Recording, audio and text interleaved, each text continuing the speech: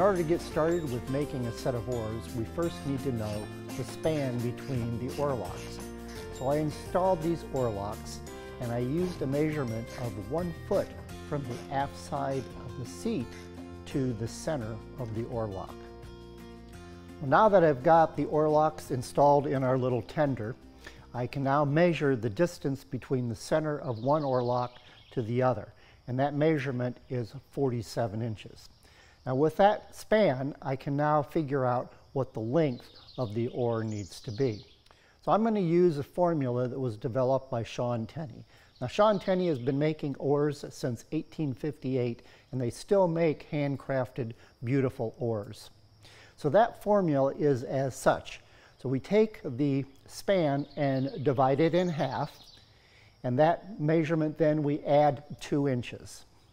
So now what we have is called the inboard loom.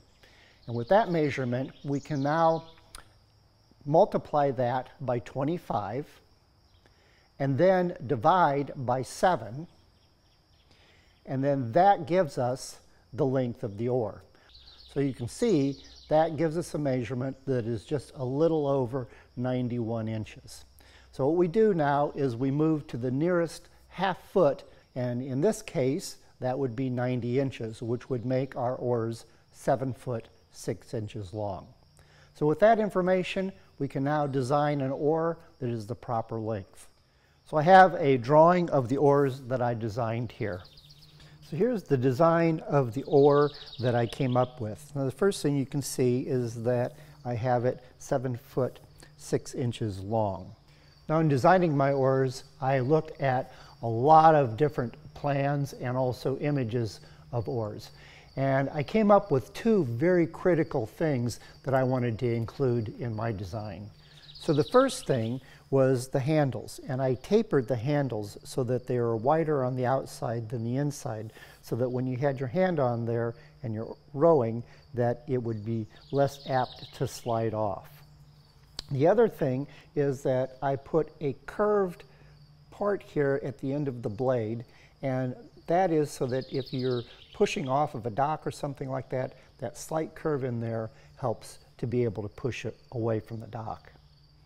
So one of the things I wanted to mention was the difference between the inboard loom length, which we came up with 25 and a half inches, if you'll remember, and the actual distance between the oar lock center to the end of the handle.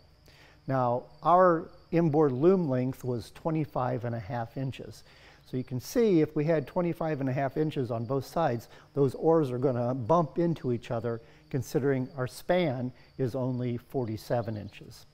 So ideally what you want is the distance when the oars are completely level, that there's at least three to five inches space between the two handles so that when you're rowing, you don't bump your knuckles or they don't bump together. So I moved the distance of the rowing horn over 22 inches. So that 22 inches will give us plenty of space between those two handles. So the first thing I'm going to do is to make a template of the blade of the oars.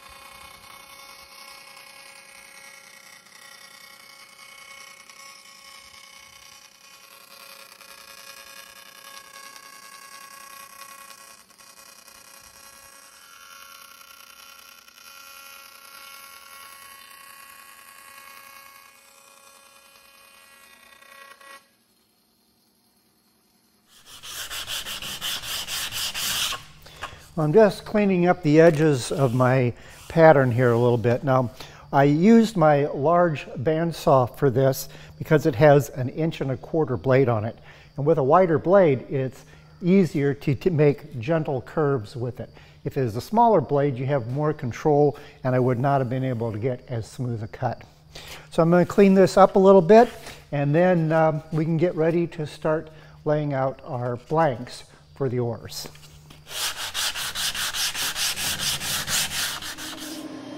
The wood that I'm using is a spruce that Steve's great grandfather had planted. And you may have seen him cut that tree down, and that spruce was used for the mast and spars for Victoria and also for the mast of Arabella.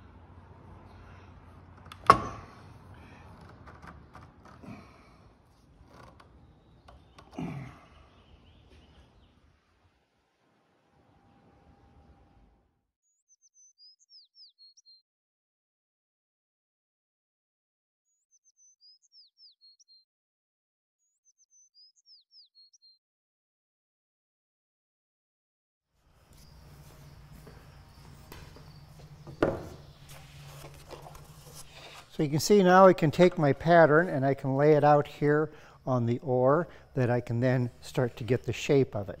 Uh, before I do that, what I want to do is to plane down this surface because you can see that it's raised up a little bit here. So I'm going to plane all this down so it's nice and flat so I can lay that template on there and get an accurate measurement. And once I do that, then we're going to start concentrating on the shaft of the oar and making it round and tapered to the handle.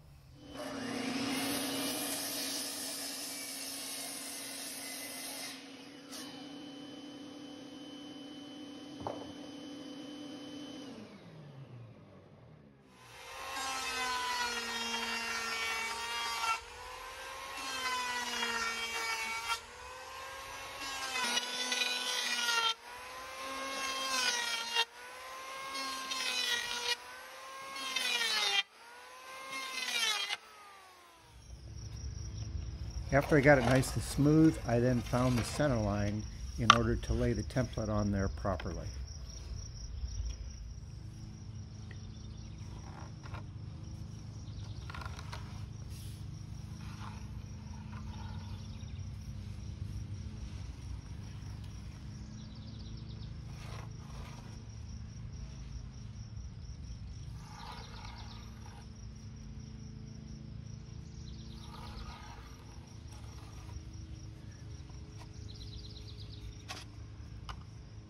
After I got the blade drawn out, I then figured out the taper for the shaft.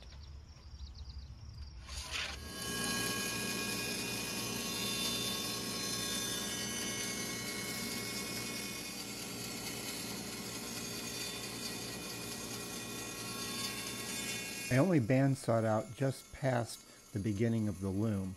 The rest of it I'll finish off with my power plane as I'll be able to get a straighter line.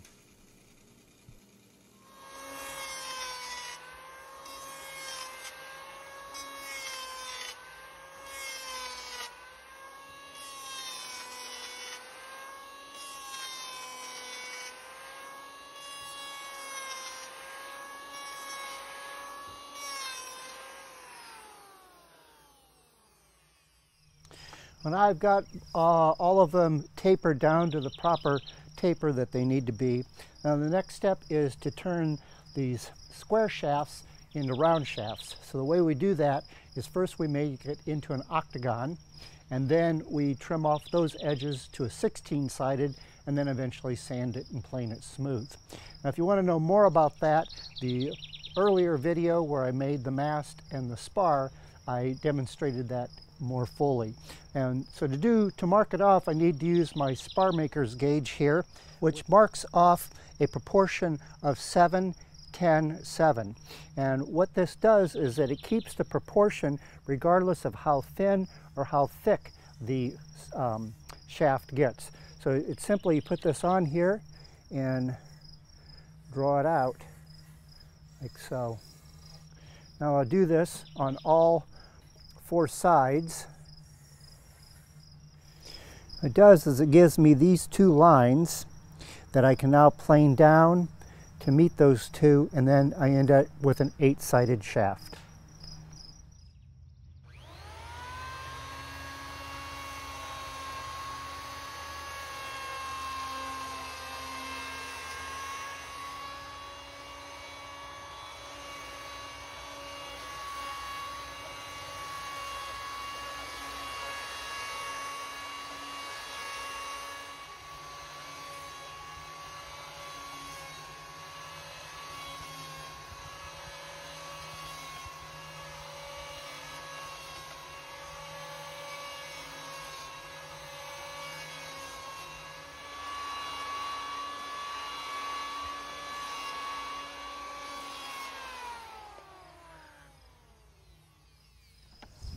Well, now that I've got it an octagon, what I need to do is come back and knock off these high spots like so with just a hand plane and start to get it to be round.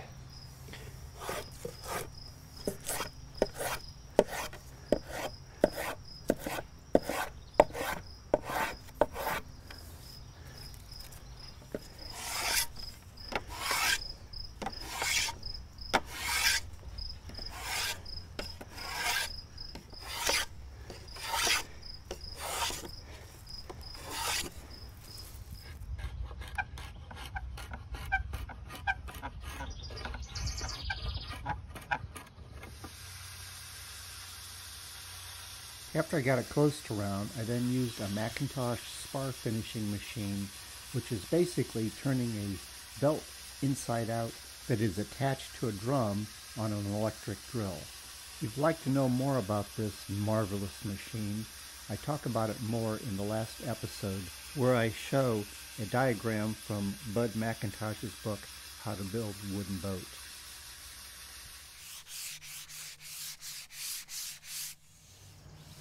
Well, now that I've got the main shaft of the oar all rounded off, I need to turn my attention now to the blade. Now you can see on the plans that there is a sort of elongated diamond shape that is a profile of the blade. So it's a little thicker in the center. And then it needs to be turned down to 5 16ths on the end and along the edge. So that's what I'm going to do next.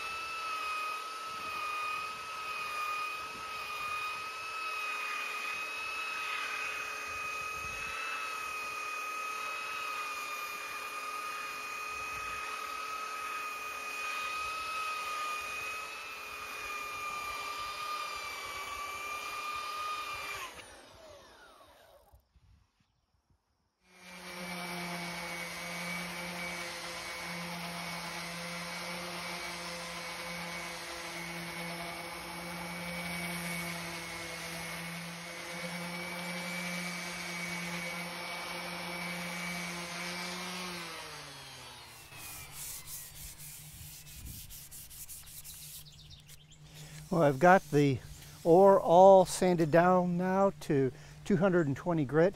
So the next thing I need to do is to work on this handle. So if you remember from the drawing that I come back six inches and then it tapers smaller here out to larger. So first thing I need to do is to mark off six inches.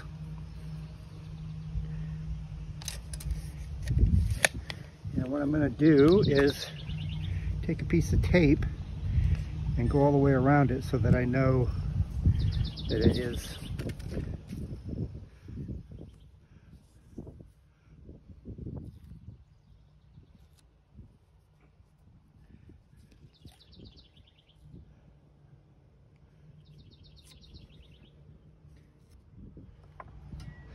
All right, so what I have here is uh, three, one and three quarters inches wide, and I want the inside here to be one and a quarter. So if I take a quarter of an inch off each side, which would be a half inch, then I will have that, and then I can taper that out.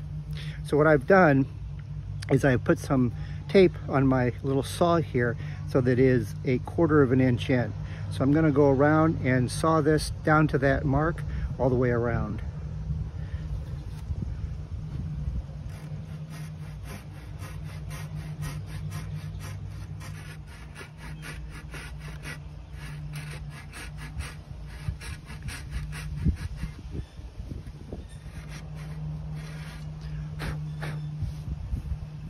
Now that I've got that cut all the way around, I'm going to use my draw knife to just slowly carve that down.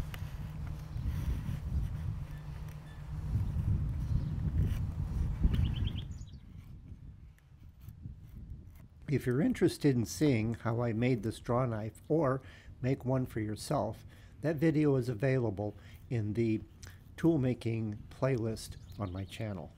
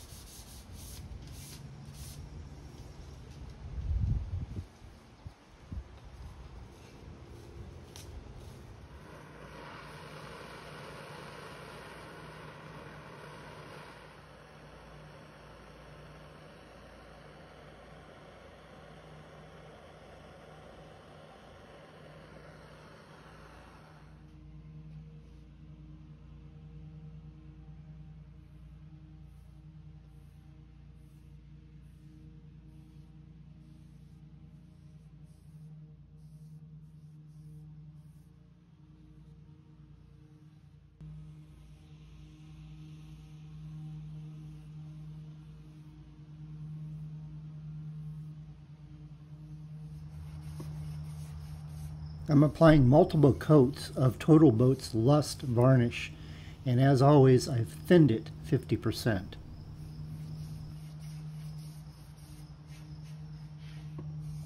You can see I've taped off the handles of the oars. Now it's important not to varnish the handles for a couple of reasons. One, once it's varnished and the oar gets wet, it can be very slippery. The other thing is that rowing with oars that have varnished handles can cause blisters.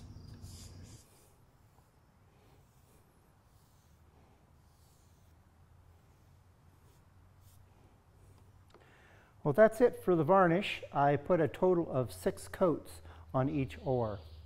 Now, the next thing to do is to install the leather collars. I'm going to do that in the next episode in part two, as that's all we have time for on this episode. So as always, thanks for watching, and remember, if you're going to make it, make it beautiful.